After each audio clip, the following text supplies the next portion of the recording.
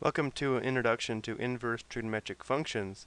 The goals of the video are to use inverse trig functions to find an angle with a given trigonometric function value, and also to use inverse trigonometric functions to solve a right triangle. Remember, you can think of a function and its inverse function as two functions that undo each other. Here's an illustration of this. Let's say we have this function f, and x is the input and y is the output. Well, the output of f becomes the input of f inverse, and f inverse outputs x. So, we, so what we see here is whatever we start with, we end up with the same thing if these two functions are inverses of one another. Here's a way to look at it from a trig standpoint. If I let f of x equals sine x, and let the inverse be inverse sine, let's say for example I input 30 degrees, well, the sine of 30 degrees is equal to 1 half. And if I put the sine ratio into the inverse function, it will return the angle again, so the final result will be 30 degrees again. Inverse trigonometric functions are written as we see here, y equals inverse sine x, but we can also write this as arc sine x. And inverse cosine x can be written arc cosine x and inverse tangent x can be written as arctangent x.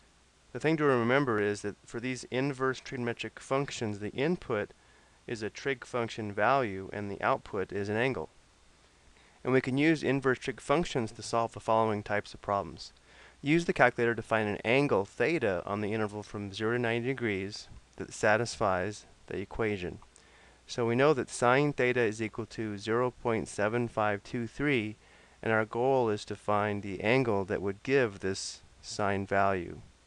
So what we can do is take this equation and take the inverse sine of both sides.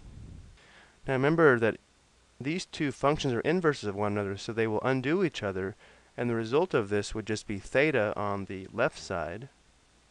And on the right side, this, and this is not one of those ratios that we're used to seeing in regards to one of the 30, 45, or 60 reference angles. So we will have to use our graphing calculator. So let's go ahead and get that out. And now we will use the inverse sine key, which is here right above the regular sine key.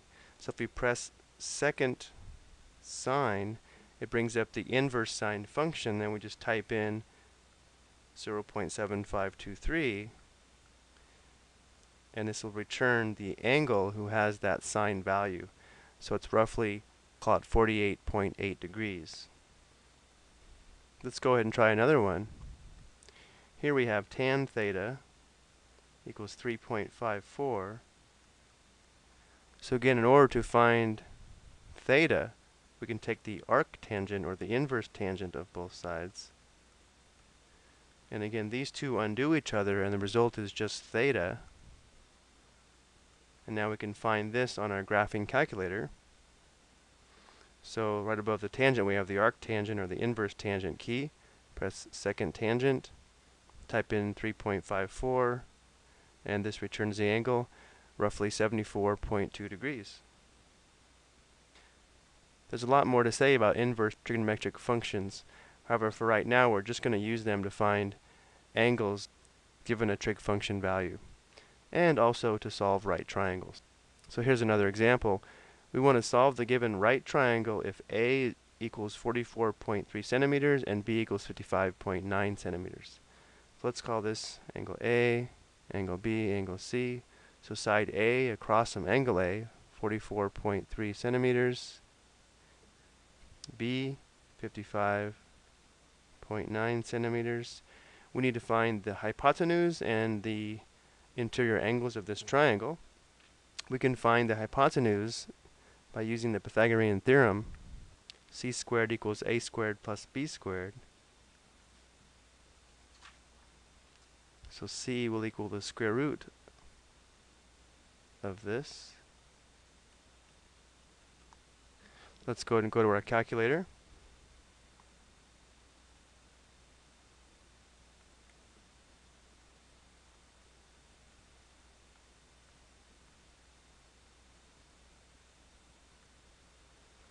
And C is approximately 71.3 centimeters. Now we need to find angle A and angle B as well.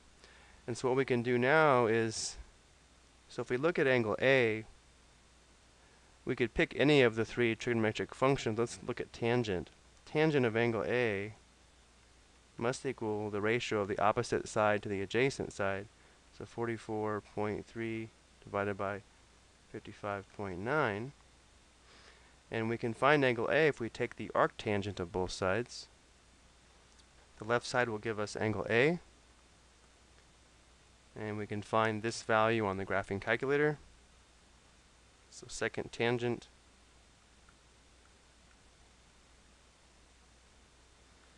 and we can see our angle is roughly 38.4 degrees. Now we know that these two angles, A and B, must be complementary.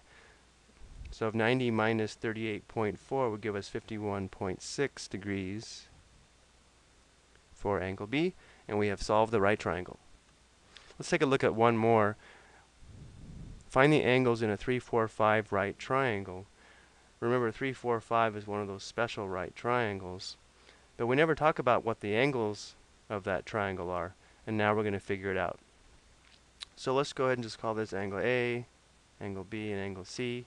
We need to find angle A and angle B. So if I take a look at angle A, I'm going to go ahead and use sine this time. So the sine of angle A must equal the opposite over the hypotenuse. So sine of A is equal to 3 fifths. So again, in order to find angle A, I can take the inverse sine of both sides. So the left side will have angle A, and the right side will go to our calculator. We want the inverse sine of 3 fifths. So second sine 3 fifths. Looks like it's roughly 36.9 degrees. And again, these two are complementary, so 90 minus 36.9 will give us 53.1 degrees for angle B. And that triangle is solved. Again, we will discuss much more about inverse trigonometric functions later, but for right now, we can use this information to solve right triangles.